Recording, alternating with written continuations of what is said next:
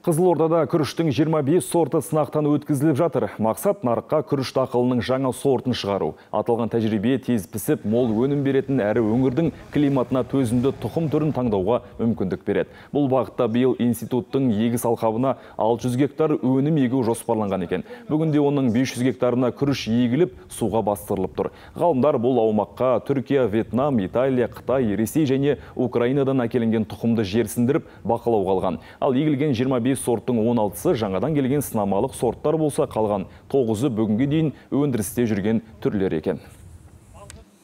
жоғары өнімді сорттар бізде көп ә, шықпай жатыр. Сол себептен бізге ә, басқа жақтан ә, шет елдерден көбінесе бізге сорттар келеді. Біздің ауа райы жағдайында ол бізде қалай болады пісіп пісе ма оларда жоғары өнім бергенмен бізге келгенде олар жоғары өнім беруі де және бермеуі де мүмкін. Жаңа сорттарды бізге өндіру үшін сондай ғылыми зерттеу жұмыстарын жасап жатқан жа- жағдайымыз бар Мамандар осыған дейін қолданыста болған ресейлік сорттардың өнімділігі азайған дейді. Биылғы егін науқанының тағы бір жаңалығы дрон арқылы тұқым себу. Жаңа технологияның басты ерекшелігі уақыт пен өнімді шығындамайды дейді агрономдар.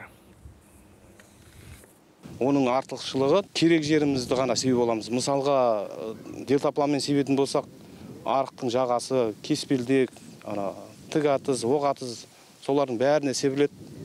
Ал дронмен күріштің үстіне керек жерімізді ғана себіп аламыз да.